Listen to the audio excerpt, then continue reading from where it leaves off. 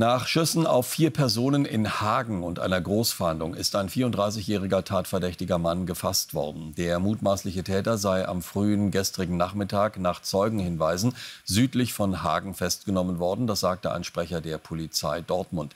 Der Tatverdächtige soll zuerst seine Ehefrau in der gemeinsamen Wohnung in einem Mehrfamilienhaus durch einen Kopfschuss schwer verletzt haben.